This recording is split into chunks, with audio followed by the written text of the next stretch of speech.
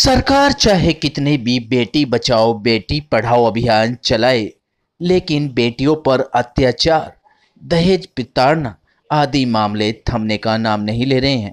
एक ऐसा ही मामला उत्तर प्रदेश के मुरादाबाद के थाना मुंडा पांडे क्षेत्र के अक्का भोजपुर गाँव का है, जहाँ दहेज लोभियों ने दहेज की मांग के चलते एक विवाहित महिला की पीट पीट कर बेरहमी से हत्या कर दी और घर से फरार हो गए।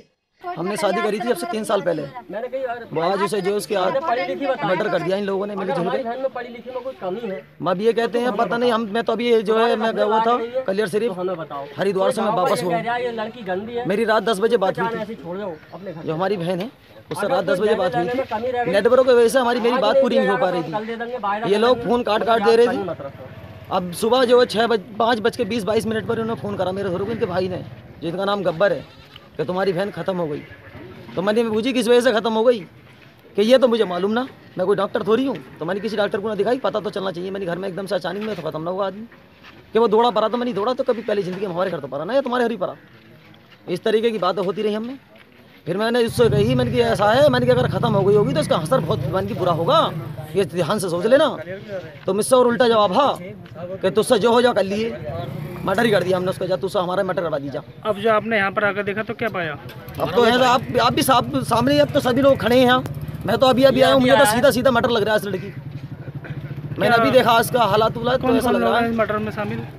मर्डर में शामिल इसकी जो एक अम्मी है। इस लड़के की हमारा बिनोई आरिफ उसकी अम्मी एक उनके वालिद साहब हैं एक गब्बर एक राशिद। ये चार व्यक्ति इसमें शामिल है।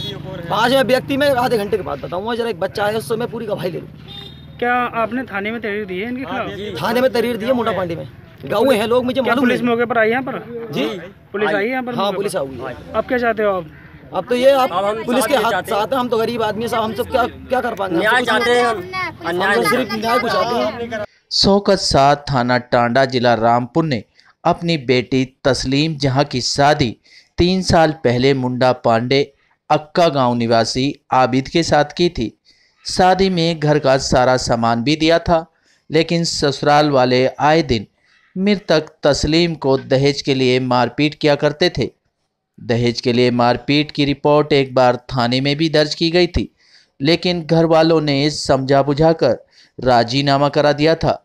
इसके बाद ससुराल वाले फिर उसके साथ मारपीट करने लगे। इस बार तस्लीम को इतना मारा कि उसकी जान चली गई। तस्लीम का एक डेढ़ साल का बेटा कादिर भी है। हमारे घर वालों को किसी को, इन लोगों ने जब हत्या करी है इसके साथ में तो किसी को भी मालूम नहीं करा। उसके बाद में मेरी भतीजी ने जब आठ बजे रात के फ़ोन करा, अम्मी, मुझे ये हत्या करके मार रहा है। तो इस, जब घर वालों को पता चला तो इस, इनने खून वून सब छीन लिया। छीनने के बाद घर वालों को, हमारे न रिश्तेदारों को किसी को खैर खबर कुछ नहीं दिया। हत्या करने के बाद ये मार के दफन करने की तैयारी कर रही है लोग। बहरहाल पुलिस ने चार लोगों के खिलाफ हत्या का मामला दर्ज कर आगे की कार्रवाई शुरू कर दी है। सिटी न्यूज़, दिल्ली संवाददाता, उत्तर प्रदेश मुरादाबाद से शहादत अली की रिपोर्ट।